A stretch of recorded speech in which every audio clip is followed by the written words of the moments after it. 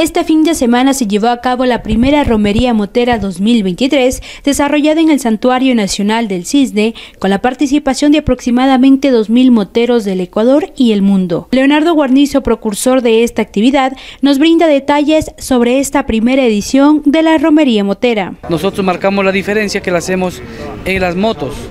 Entonces es una, una romería que ha aglomerado a hermandades nacionales, hermandades de Perú, Colombia, España, este, Argentina también están presentes, eh, posiblemente Chile también estén ya viajando.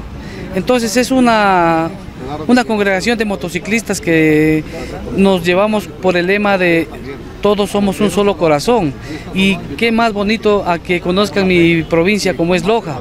Nosotros lo que queremos es rendirle homenaje a nuestra patrona de los ecuatorianos como es la, la Churona, invitándolos a todos a que formen parte de Motoreando la Fe, un proyecto que viene en camino para grandes cosas, grandes cosas, grandes cosas para los motociclistas, para los niños que salen ya con esa afición de llegar a subir en una moto. Por su parte, Angélica Chávez, motociclista de Ruta de Colombia, resalta más detalles sobre su visita a Ecuador y su participación en esta actividad religiosa. En redes soy conocida como Soy Angélica Chávez, soy una motoviajera de Colombia.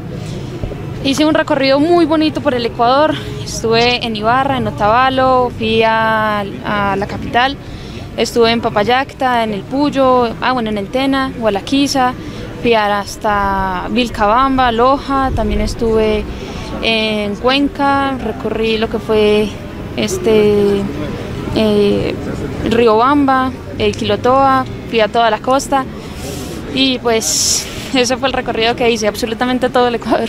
Primero recorrí mi país, pero luego me fui a, descubrir y a conocer los lugares hermosos que hay en cada una de nuestra hermosa Latinoamérica. La verdad de la Virgen del Cisne sí había escuchado, pero no había ido al santuario de la Virgen del Cisne, entonces me motivó también eh, venir a este evento porque es un lugar súper bonito por lo que ya he visto en algunas fotos y videos y pues dije no, hay que ir a conocer ese hermoso lugar y darlo a conocer también por medio de las redes. Con alegría y devoción muchos llegaron en sus motos y participaron de la Eucaristía, bendijeron los cascos y se encomendaron a la Virgen del Cisne. El proyecto Motoreando por la Fe es una actividad impulsada por la diócesis de Loja y se espera tener más ediciones de este encuentro con participantes de varios lugares del Ecuador y de Sudamérica. Para la Minga TV informó Mabel Curipoma.